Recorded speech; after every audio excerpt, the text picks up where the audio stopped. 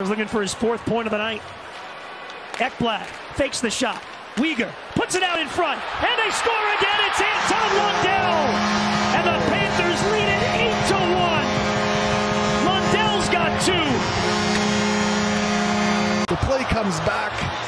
You can see the work ethic by by Hornqvist there. He slides it, and it comes back to Weegar here, and you can see the patience. It's a 20-year-old kid that usually when you get into these situations, you might just redirect the play.